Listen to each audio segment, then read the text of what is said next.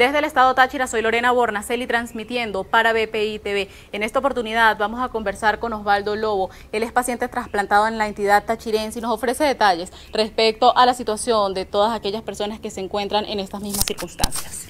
Bueno, buenos días, este, bueno, estamos aquí en San Cristóbal, eh, en el Seguro Social, con una cantidad de pacientes trasplantados, con bastante problemas por la escasez de medicina que en el Seguro Social no llega.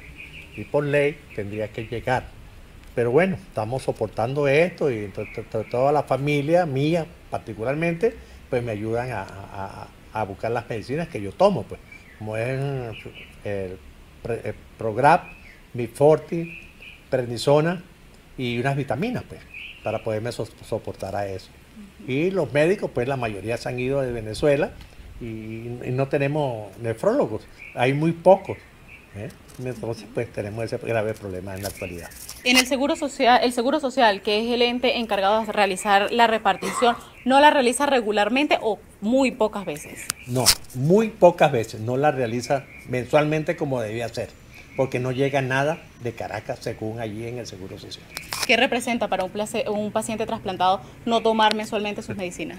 La muerte, eso es lo que representa simplemente, porque nosotros tenemos que estar eh, suprimidos para un monosuprimido para poder mantener el riñón.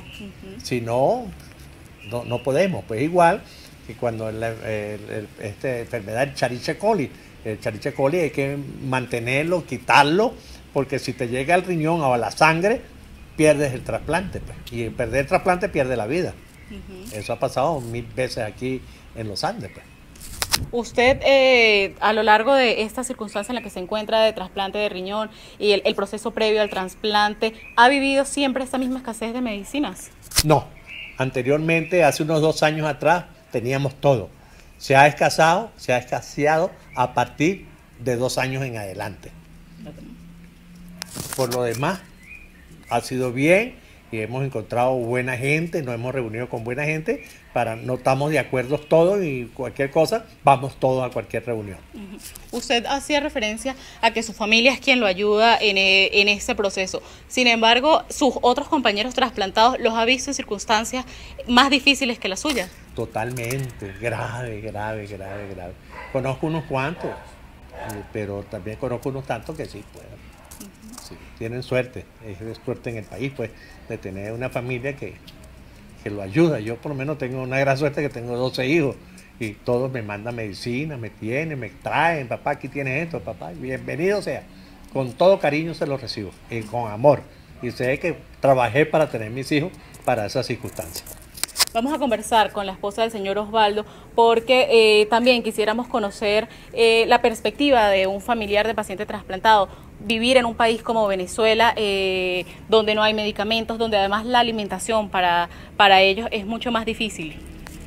Bueno, es, muy, es bastante fuerte para la familia, sobre todo cuando en la parte de diálisis creo que la familia sufre más porque de verlos a ellos cada día minimizándose tanto en esa diálisis, no sé cómo estará ahora, pero cuando a mi esposo le tocó, que ya estaban algunos, había una escasez, este fue bastante fuerte.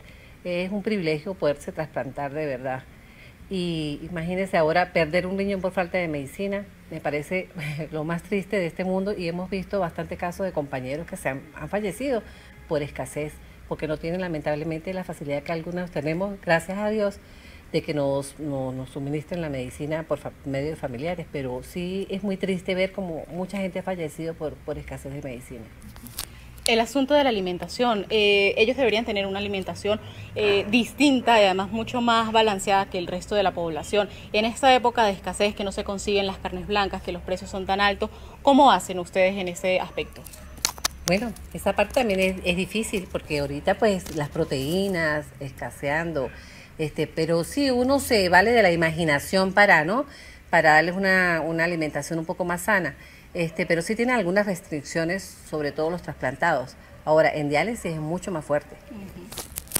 Amigos de BPI TV, la información desde el estado Táchira y las circunstancias en que se encuentran los pacientes trasplantados que acuden cada mes al Hospital del Seguro Social para buscar sus medicinas y sin embargo no logran encontrarlas, no son distribuidas por parte de la institución que por ley debe hacerlo. Es la información que se maneja desde el estado Táchira. Yo soy Lorena Bornacelli transmitiendo para BPI TV.